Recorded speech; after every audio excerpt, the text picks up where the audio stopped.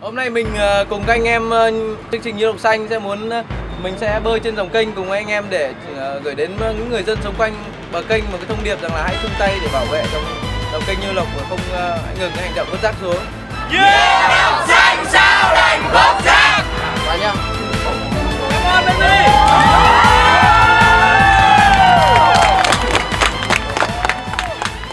Hoạt động này được lên kế hoạch thực hiện ngay sau khi Việt Anh vừa thực hiện hành trình xuyên Việt qua 63 tỉnh thành bằng xe đạp.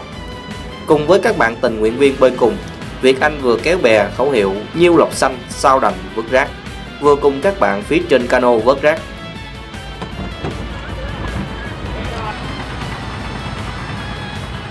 Song song với việc bơi dọc theo kênh Nhiêu Lộc, phía trên bờ hơn 100 tình nguyện viên cùng tuần hành và giơ cao khẩu hiệu cổ động và kêu gọi mọi người tham gia nâng cao ý thức bảo vệ màu xanh cho dòng kênh.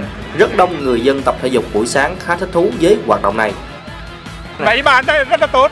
À nếu như mà là tuần nào cũng làm thế này thì đảm bảo là người ta không có vứt rác xuống đâu.